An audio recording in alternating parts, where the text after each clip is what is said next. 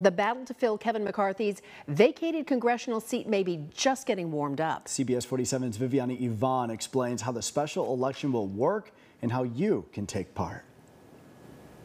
Well, here's a look at where the race stands right now. Bakersfield Assemblymember Vince Fong has a solid lead over Tulare County Sheriff Mike Boudreaux and Democrat Marisa Wood. Now, keep in mind, yesterday's race for the 20th district is for the full-term race, and the special election for the same seat is now less than two weeks away.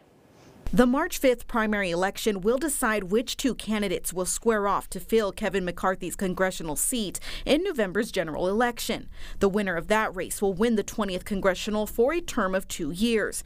Here's where things get interesting and a bit confusing. It is really confusing, and voters do not react well to that kind of confusion. When they get messed up like that, if they just you know toss the ballots, they don't vote. McCarthy left in the middle of his term after losing his role as Speaker of the House back in December of 2023. Tuesday, voters in Kern, Kings, Tulare, and Fresno counties voted for who will get the chance to serve the full term starting in January of 2025. But on March 19th, there will be another special primary to determine who will serve out the rest of McCarthy's current term. The contest that happened on Tuesday, the 5th, is completely different from the race that will happen on the 19th.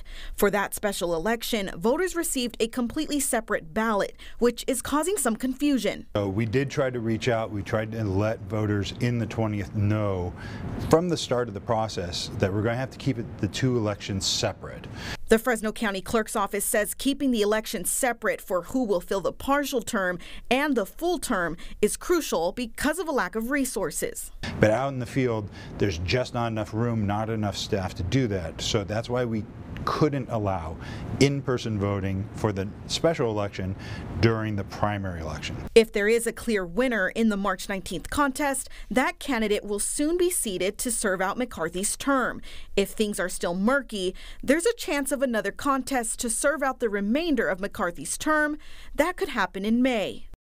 And the Fresno County Clerk's Office says during the special primary election on March 19th, if none of the candidates receives 50% plus one, a majority of the votes, they will be declared the winner right there and then.